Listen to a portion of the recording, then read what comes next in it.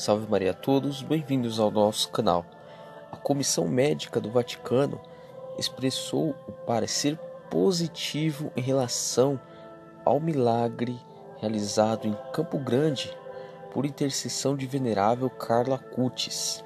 Um grande passo para a beatificação do anjo da juventude, assim como é conhecido o venerável Carlo Acutis. A história foi a seguinte: havia um jovem cerca de 20 anos, mais ou menos, digamos que precisava da extrema unção. O padre foi lá, deu a ele, o crismou, colocando Carlo Acutis como padrinho de crisma, e deu um panfleto do Carlo para o moribundo para que ele rezasse e pedisse sua intercessão e sua melhora.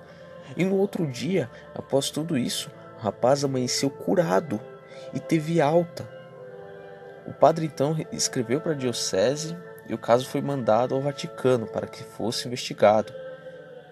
O garoto estava com os pulmões praticamente apodrecidos, ou seja, estava em estado terminal ele iria morrer em poucas horas, relatou. Um caso que realmente mexeu com muitas pessoas, mostrou que realmente Carlo Acutis é um servo de Deus, um jovem, o anjo da juventude.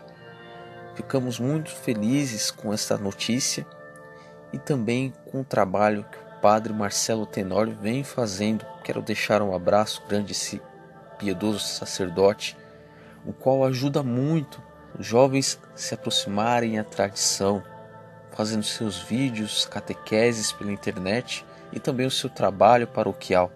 Está há cerca de uma década propagando a devoção à venerável Carla Acutis. E cada vez mais, cada ano mais que se passa, temos as confirmações que esse jovem é um santo e a sua entrega ao nosso Senhor Jesus Cristo e a Santa Igreja não foi em vão, nunca será em vão. O santificou e fez dele um exemplo para que todos os jovens seguissem. O que digo a todos é que vocês jovens, até mesmo vocês adultos, sigam exemplo de venerável Carlo Acutis. Acredite em Deus, dê a sua juventude, a sua força, a sua vida a Nosso Senhor. Só temos a ganhar com isso. Que Deus abençoe a todos. Maria sempre. Venerável Carla Cutis, ora pro nobis.